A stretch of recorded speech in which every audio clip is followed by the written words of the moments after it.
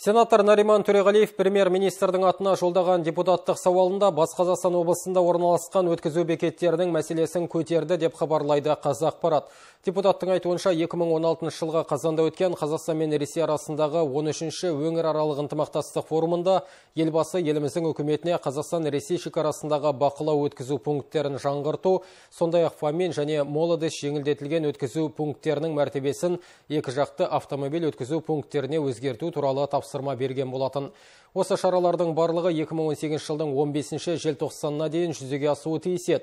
Сенатор аталған тапсырманың орындалмауына байланысты депутаттар бұл мәселені бірнеше рет көтеріп, депутаттық сауалдар жолдағанын атап өтті.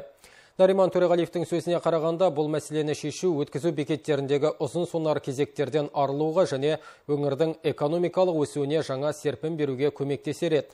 Жәнібек ауданының Жәнібек Вишневка өткізу пунктіне көп жақты халықаралық өткізу пункті мәртебесін, ал Бөкеордасы ауданының Молодес, Верхний Баскунчак және Қассалп ауданының Фамин өткізу пункттеріне екі жақты автомобиль өткізу пункті мәртебесін беру мәселесінің шешілуіне және Өнеге Бесен Сайқын республикалық маңызы бар тас жолын Сайқын, Шоңай, Молодес шекара белдеуіне дейін ұзартып, Қазавтожол ұлттық компаниясы акционерлік қоғамы есебіне беру арқылы жергілікті маңызы бар жолдан республикалық маңызы бар жол мәртебесіне ауыстыруға ықпал етуіңізді сұраймыз деді депутат Сенаттың жалпы отырысында.